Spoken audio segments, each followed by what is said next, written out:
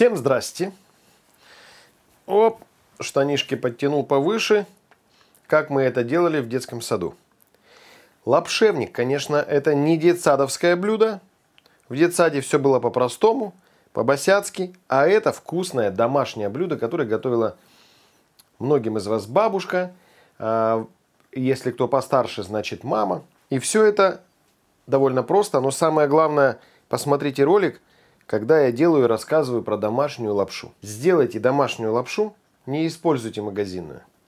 И тогда это блюдо будет самым лучшим и вкусным. Что с самого начала? 50 на 50 обычное молоко, отборное.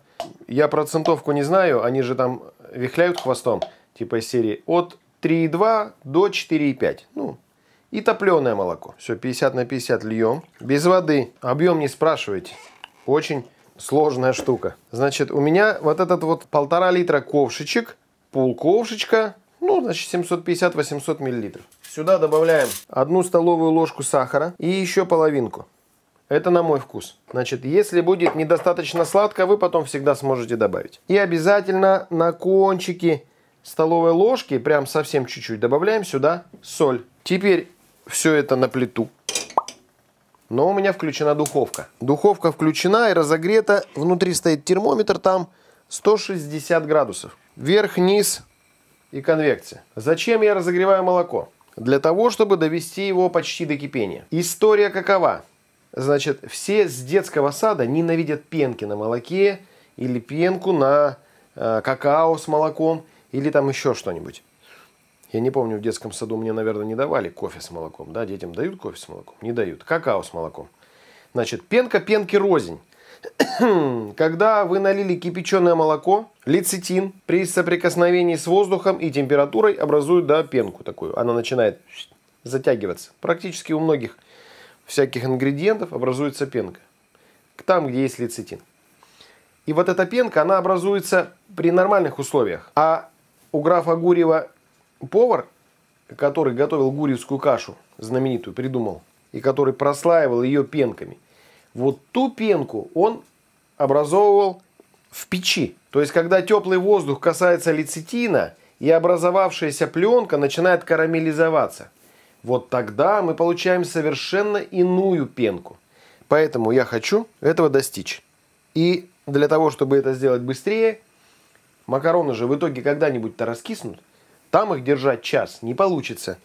Нужно довести быстро молоко до кипения, потом макароны и в духовку, чтобы уже молоко было горячее. Так, пенка, пенка, пенка пошла, пошла, пошла. Аккуратно. Главное, чтобы ничего не убежал. Куда, куда, куда?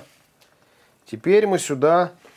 Вот, вот эта пена, когда начнет закипать в духовке, вот она и будет давать, вернее, запекаться.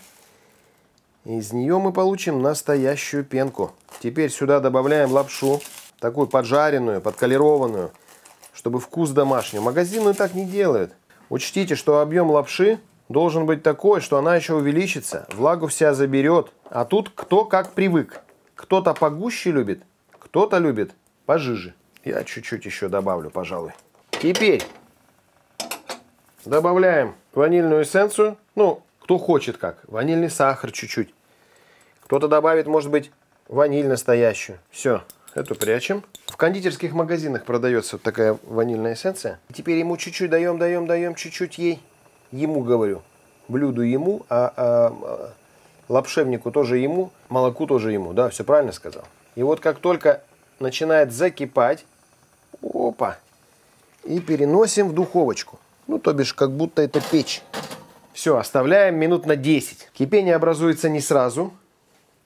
Простоит. Макарошки начнут себя впитывать влагу. Ну и начнет помаленечку подкипать. Сверху температуре нужно устояться, всему нужно нагреться, и тогда поглядывайте, корочка запекаться будет. Если вдруг чего, вот у меня стоит верхний нагревательный элемент, чтобы сверху жар шел. Тогда мы добьемся вот этой вот пенки запеченной гораздо быстрее. Так, теперь, когда у нас уже открываем, смотрим, открываем, смотрим, видим, что пенка уже румянится. Вот так, смотрите. Вот она. Вот какая она должна быть. Настоящая румяная пенка. Вот эта пенка настоящая. Это не вам де- не детский сад, ё-моё. Теперь вы понимаете, что такое пенка не как в детском саду. Да, за такую пенку. Я понимаю тех, кто не любит молоко, молочные продукты, да, вы сразу тут отпадаете.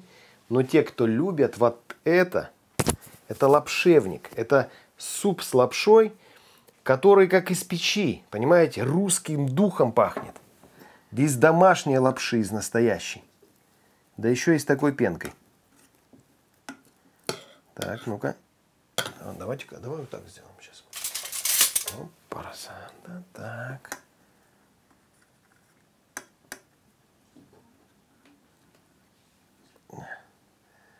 Во-первых, по опыту, не только по моему, но и по многовековому русскому опыту, лапша, которую сушили в печи до коричневого колера, или на сковородочке, если у вас нет печи, или в духовке, она практически не разваривается. Нет, ну всему есть предел, понятно.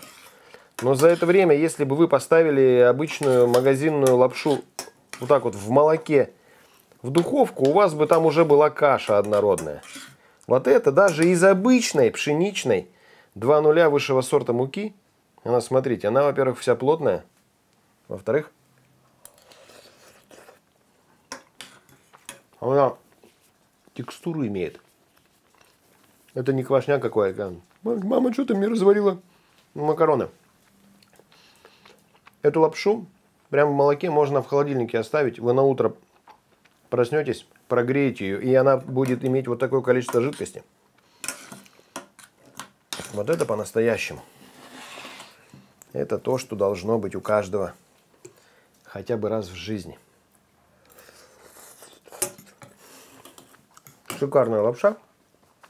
Совершенно карамельный, вообще ароматный, вкусный бульон. Я не знаю, как вы, а я бы на завтрак прям целиком бы вот эту штуку бы смолотил.